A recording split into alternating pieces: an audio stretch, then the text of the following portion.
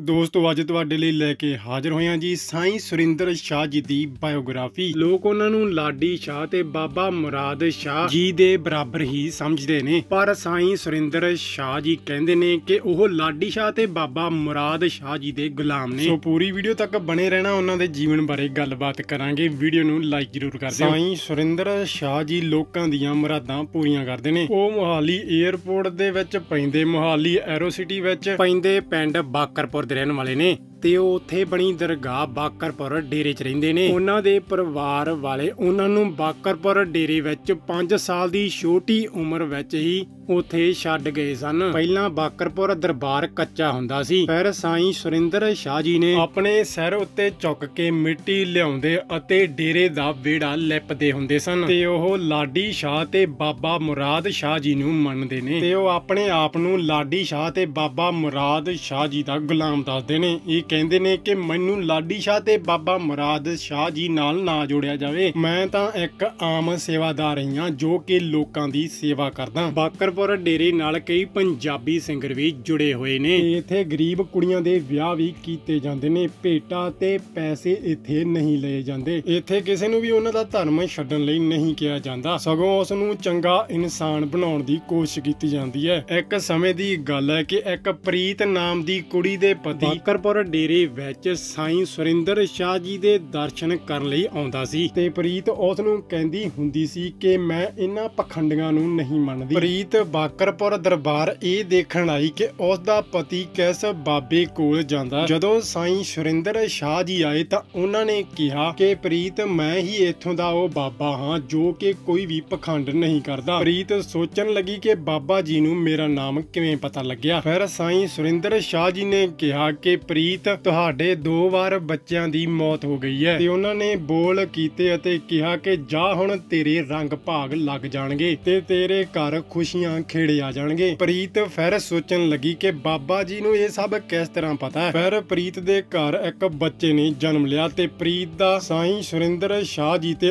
ਅਟੁੱਟ ਵਿਸ਼ਵਾਸ ਬਣ ਗਿਆ ਤੇ ਉਹ ਹਰ ਵਾਰ ਪੱਕਾ ਹੀ ਬਾਕਰਪੁਰ ਡੇਰੇ ਵਿੱਚ ਮੱਥਾ ਟੇਕਣ ਆਉਣ ਲੱਗੇ। ਸੋ ਤੁਹਾਨੂੰ ਸਾਈਂ ਸੁਰਿੰਦਰ ਸ਼ਾਹ ਜੀ ਦੀ ਬਾਇਓਗ੍ਰਾਫੀ ਕਿਸ ਤਰ੍ਹਾਂ ਦੀ ਲੱਗੀ ਹੈ। ਵੀਡੀਓ ਨੂੰ ਲਾਈਕ ਅਤੇ ਕਮੈਂਟਾਂ ਵਿੱਚ ਜੈ ਸਾਈਂ ਦੀ ਲਿਖਣਾ ਨਾ ਭੁੱਲਣਾ। ਤੇ ਹਰ ਇੱਕ ਅਪਡੇਟ ਲਈ ਚੈਨਲ ਨੂੰ ਸਬਸਕ੍ਰਾਈਬ ਕਰ ਲਓ।